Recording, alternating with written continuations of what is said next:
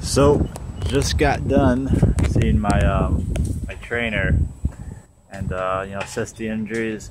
Got a really crazy active release therapy on it. Um, screaming like crazy.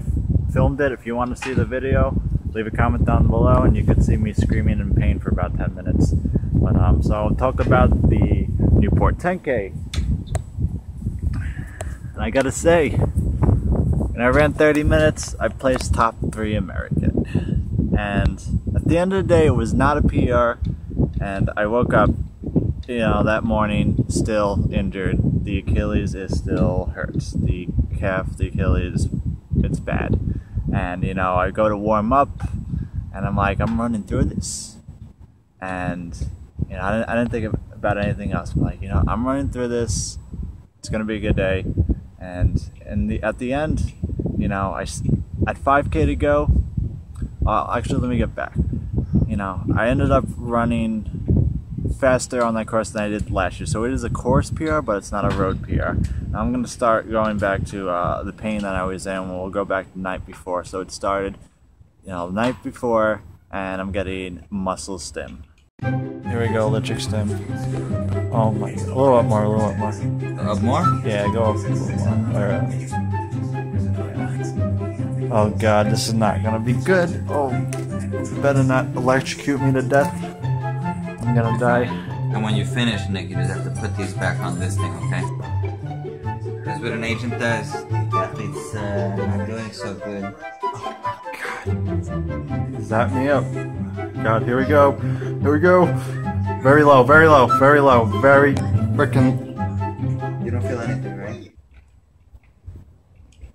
So, after the muscle stim, um, you know, we got onto that line. You know, I'm I'm I'm coming here to put on a show because I'm the top guy in New York, along with Brendan Martin in the race. And race goes off, we go out, good pace, nothing crazy, and yeah, as you can see from the video, a lot of turns in this race, and right there, stepping on the almost stepping on the camera on the course right there, but uh, uh tough it was you know it was rough. A lot of turns and a lot of left turns too and that's my bad leg. 5k to go drop the hammer. I was like you know what?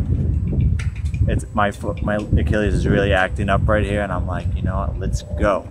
And drop the hammer right here you see in the video and start taking the lead i start pushing and then my leg the achilles the left side just kind of gives out. No power is coming from it.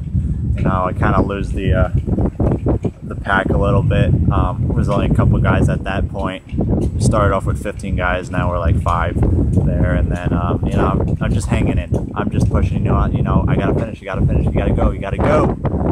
And I come through, get into that finish line, making another move on third place, and you know, a third American spot, and I'm right there. I'm catching, I'm catching, but my leg is not delivering any power. I'm not having my kick. I'm not, you know, and I'm just hanging in the race, and it's all coming from here. And so when you're in pain, everything is hurting, whether it's injury or not, you just got to keep pushing. You're pushing. You, you're so close. You're so close. You're almost getting it, and you still come up short on another place, but you finish the race, and you know that's what counted. Especially if there's money in the race especially you get a couple thousand dollars at the end with that place. You know, you, you don't drop out. You stay in, and everyone's watching you. You're on camera. You're on TV. All the all the local guys that know me, they're watching. And, you know, like, you know, they don't want to see me drop out. I don't want to drop out, and I'm just there to go. And boom, I come through that line, and I basically just kind of collapse a little bit. I'm down on my hands. I'm like, holy cow, it hurts. And then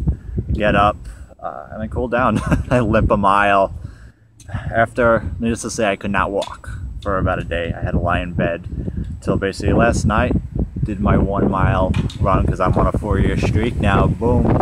And wow, it's windy here. And I can't see my trainer today. So that's the race. You, you keep going. Because, you know, I come to the line and I say, you know what, I'm going to fuck shit up today. Excuse me, but, you know, you get, you have to get it done. You gotta never give up. And as soon as you give up, your whole running career is over. You know, I'm not the best guy out there. I'm not the most talented, but I'm the guy who doesn't give up. You know, I'm the guy who doesn't give a shit about anything else but my goal. So, you go out there, you run, enjoy the pain. I love to hurt. I learn to hurt. And when you love to learn to hurt, you, you learn to love to live life. So, because everything in life, the good things in life, you have to work for and they're going to hurt. And when they, the more they hurt, the more you're going to love them, the more you're going to learn to live life. And that's what running is for me learning to live life, enjoying the beautiful things, traveling. Sweetest, beautiful things in life are the sweet fruits I eat. It's sweet, fruitful, and free, the fresh air. And I want to live my life like that. I want to inspire everyone else to enjoy what the earth, what life basically is. Never stop running, always inspiring. Bada bing, bada boom.